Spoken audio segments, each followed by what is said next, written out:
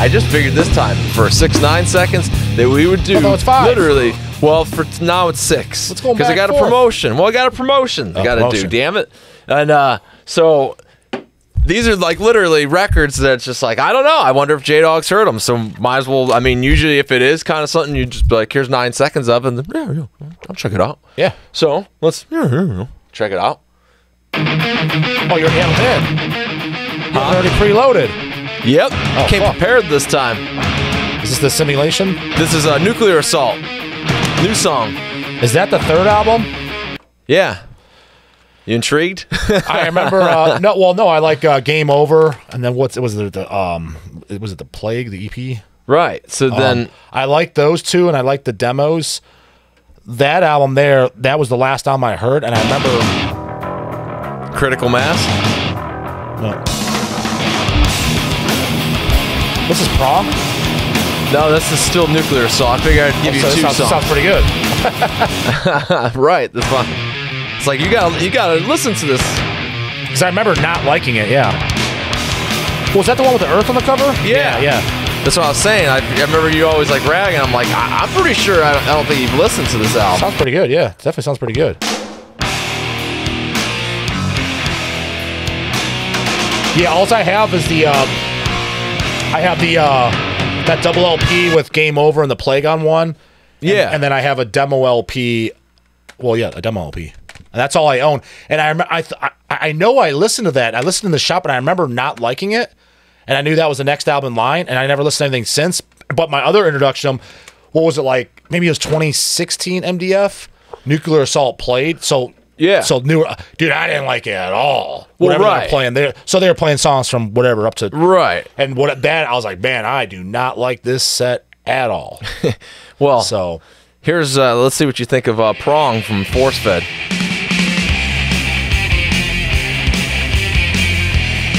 Freezer burn. I don't think I've ever heard this, but uh, I know who Prong is. But this is this is way better than I thought it was gonna be. Oh, this is the second album. The first album's only 18 minutes. This one's actually a full length. What's this one called? Force Fed. There's two different versions. What year is that? 86. Wow. Yeah. Actually, no, 87. What does this vocal sound like? Well, they're one of those bands that have two different vocalists, bass player and Tommy Victor, the guitarist. It's just a three piece. Let's hear some. Let's hear some throats. Yeah, let's get the throats. Just fast forward. This sounds familiar. Does someone cover that? Uh, I don't think so. Now put it to use. This is when the part gets ripped. It's really raw too. I love the production. Yeah, this it's pretty. uh Definitely not some overproduced fucking. The testimony motive. Try to manipulate the soul. But even This, like, this is pretty good. yeah, it's awesome. Dude, I always when I think of Prong, I just think snap your finger, snap your neck. I mean, this riff, it's like rigor mortis or someone. Yeah, kind of. Yeah, yeah. It's like so crazy. Yeah, and I'm a huge rigor mortis fan. it to use. Do you know who likes prong? No, dude, I always just thought snap your finger, snap your neck, and I was like, I don't like this. No, the first two fucking prongs, So I just dude. I just assumed that you know, like what's another band when you bring them up and people give you the stink face? Well, that's what we they, since they get brought up on this channel all the time. Six feet under. Yeah. They get the stink face. I'm like, yeah, but you ever listen to the first? The first album's great. Oh, there you go. So yeah, but but I mean, I could see some kid today who's just you know getting into like actual real death metal. You mentioned Six Feet Under, and all he's heard was their. Yeah. he's probably like, "What the? F- why would I like that?" I like to think there's a bigger difference between prong and six feet under. Okay, too. well, another band. It's like Cradle of Filth. Actually, uh, what's his? Uh, he did do. Uh, uh, what's it called? Um, uh, six feet under. They. Uh, They covered they covered Snap Your Finger, Snap Your Neck. yeah. It's pretty, yeah. pretty funny. Right. Right. Yeah. That's no problem. But there are like every album pretty much changes after the first two. Is Like, the first one just like that, even though it's only 18 minutes? Yeah, yeah. It's just, oh yeah. It's uh, in fact, it's even more raw, and uh, I just, I love So was that. that 85 then, the first song? Uh, eighty. I think that was eighty-six, but it could have been eighty-five. Yeah, they're an old band. Yeah, I didn't. I, I never, for years, I didn't realize that they're at all either. I mean, you told me like last episode or so, but I always figured they probably start around 92, 93. No, I'm cu- curious. Then uh, Annihilator, since it was brought up, uh, or going to be brought up, there was definitely an album more. Uh, so Annihilator is appropriate uh, and on my mind. So I want to see because I'm pretty sure I don't think you've ever listened to them. No, this new band that This you're doing. is still fucking uh, nuclear assault. What the hell is the CD player doing? I was gonna say I kept fi- thinking it was gonna be the simulation because you had it on top. Yeah, was and it keeps going, uh, Simulation's the- pretty good. but I haven't heard it yet.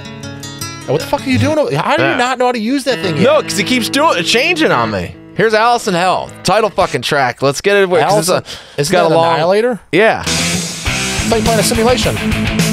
I got Annihilator right now. Oh. Because I don't think. Did Annihilator get like really bad? Yeah, but like No, in that- a very weird way. Okay, because I think that's what I've heard is one of the really bad albums. Is Alice in uh. Hell the first album? Yeah. Well, It's cool. pretty fucking. Where are they from? California? uh, Canada. Canada. Fuck. Okay, I didn't even know that. Big four Canadian thrash, bro. My father taught me many things. What um? This What year is Alice in Hell? It's uh, uh this will be interesting. This next one. Um, Eighty nine says. Yeah, uh, yeah, that sounds about right. With the, well, the demo, no, because the demo era the demo uh, was great too? '86. The demo is better because it's like that Usually song, are. and then Def Jeff Waters, who's the balls of the band. Does anyone the- ever put out the demo?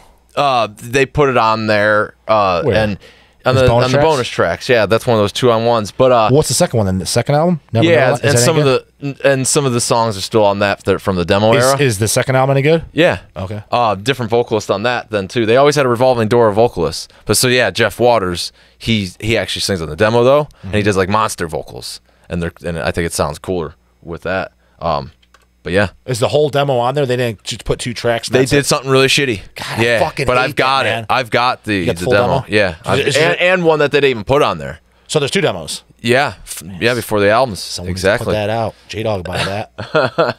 Yeah, it'd, it'd be fucking sweet. Yeah. But uh, yeah, I, I have just like copies of the demo tapes.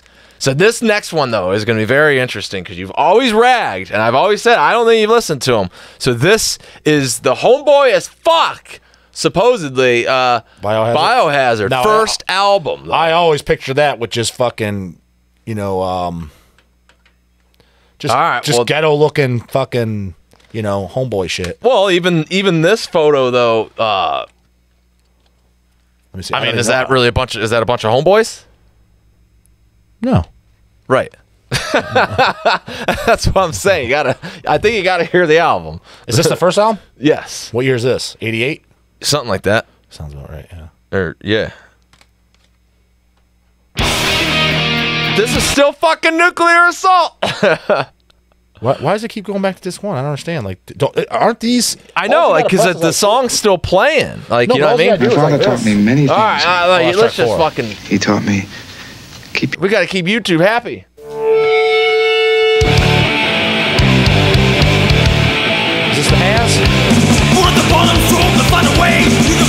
Sounds like fucking, uh. Carnivore. Can't get away until tomorrow. Making Yeah, New York band. All the Same way era. will. Sounds, Didn't sounds even. Like, sounds like Carnivore. I was gonna say the track listing's on.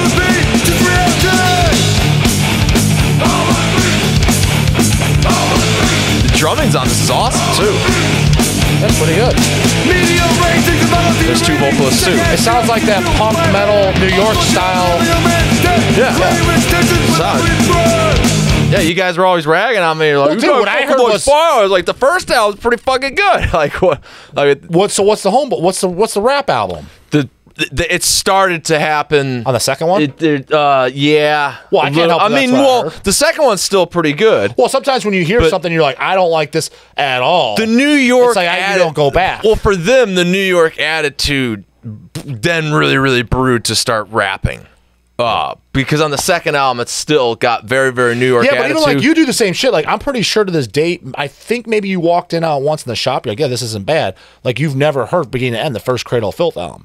You're Oh, like- yeah. and you're like, I've heard Cradle of Filth. I thought it sucked. Well, then we're I'm gonna like- have to do six, I was nine I was like, seconds. I was like, the first album, dude, you might like. well, then do six, nine seconds. What J Dog thinks uh, uh, Reap Dog hasn't heard. No, because I think I think you did walk in the shop. You're like, yeah, this is pretty good.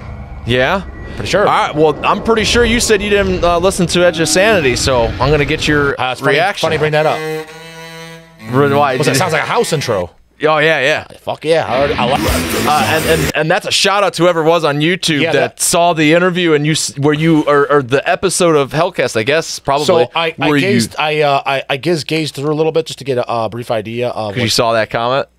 No, no. I'm somebody was on the- YouTube like J Dog, you have to go and listen to Edge of Sanity. Like you're missing out. Well, first off, I, I have, I have heard them. It's just, it- you know what I mean. Not like, by this guy, the core. no, but you got to understand, like, um, so, like, uh, you know, being around metal twenty four seven is great, but it's a blessing in disguise too, because a lot of times, like in my, because when I heard Edge of Sanity, I was probably in my twenties, so we're already, we're already deep into doing Hells. right. Yeah.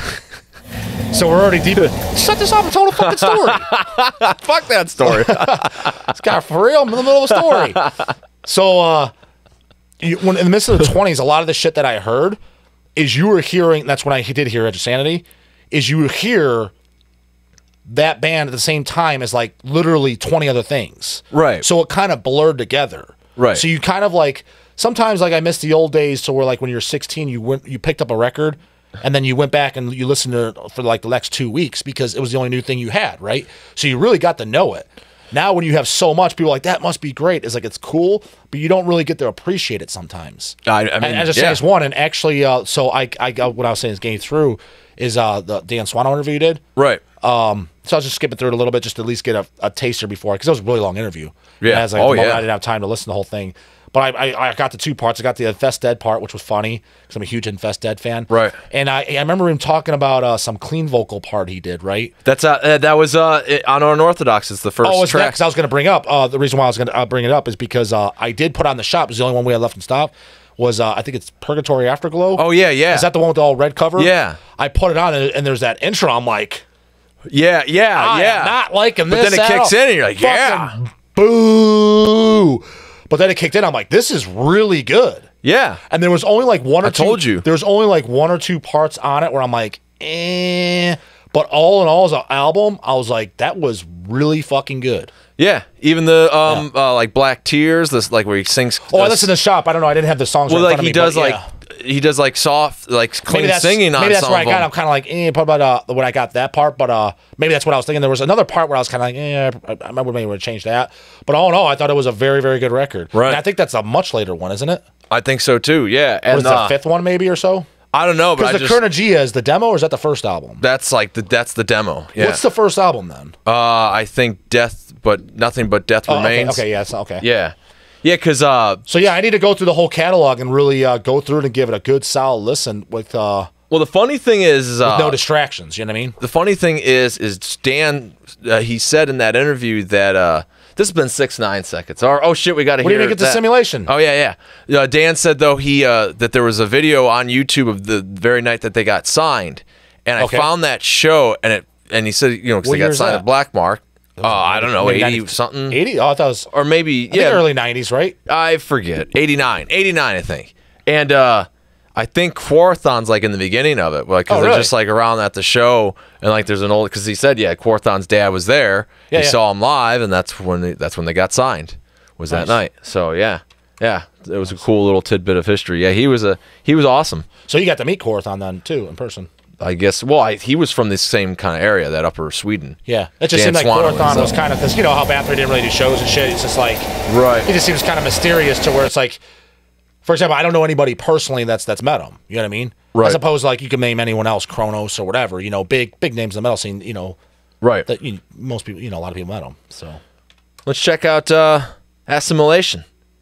With so it's not even out yet, is it? Or is it? it's out now. Yeah, out it just now. came out uh, at the time of recording this yesterday.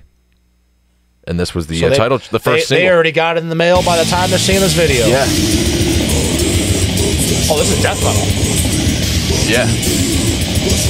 That's why I wanted you to hear it.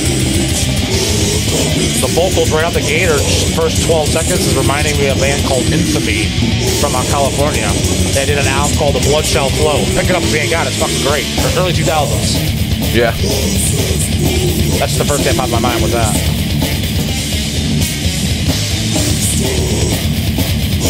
Well, musically, much different than Infamy. This is a little bit more upbeat. A little Yeah. bit more. Yeah, it's kind of all over. Like, cause then there's us.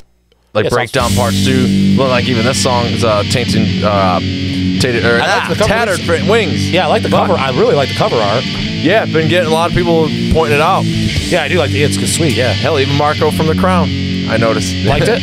yeah, he liked the cover art. Apparently, he was asking about it. yeah. Let me see it. I, I do like that cover art.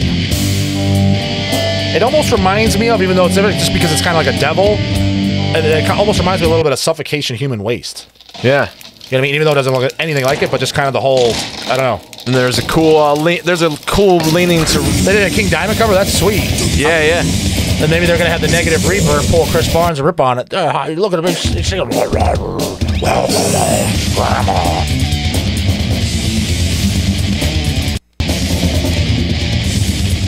You recognize it? Oh, of course, fantastic song. First, it's the first song off them. They do something, yeah, differently on on it, like vocally anyway. Yeah, they're trying to sing like King. CD player skipping there, brah. By all that dust. All right, Little this is fun fact. So, like, that's Welcome Home. So, um, um, the Invisible Guest. yeah. that's one of my favorite King Diamond songs of all time. As a matter of fact, if I had to pick just off the top of my head, my two favorite King Diamond songs, excluding Mercyful Fate, just strictly talking about King Diamond, uh, my two favorite King Diamond songs would be um, A Mansion in Darkness off Abigail right.